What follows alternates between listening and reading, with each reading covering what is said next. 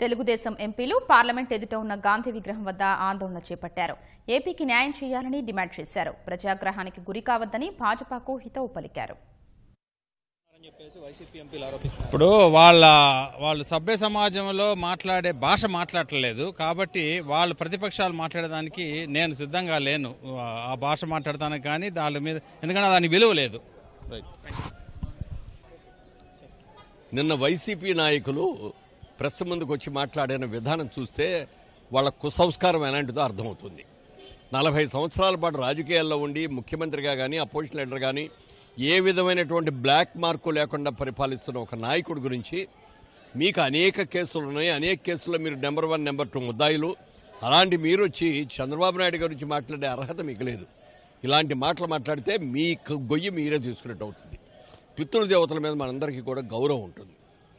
వారు జీవించున్నా జీవించలేకపోయినా వాళ్ళు మన చుట్టూనే తిరుగుతూ ఉంటారు.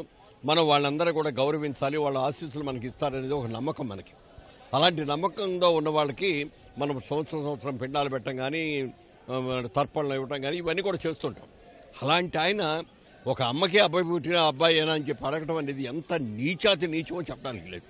ఇంత నీచంగా మాట్లాడుకున్న వాళ్ళకి వాళ్ళకి దేవుడే బలైన సరైన బుద్ధి చెప్తాడు వాళ్ళకి సరైన శిక్ష వేస్తాడు. ఖచ్చితంగా న్యాయం గెలుస్తుంది అన్యాయం ఓడిపోతుంది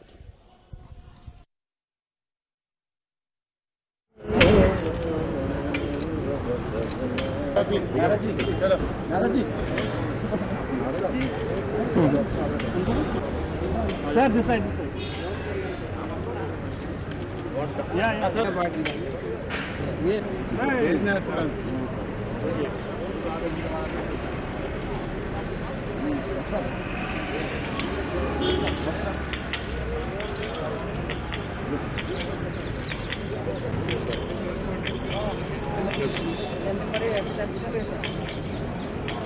आ जाओ आ जाओ आ जाओ We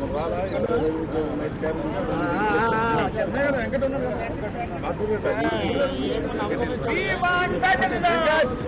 We want right to stay. Yes! We want for all Long live veterans! Justice! He wants justice!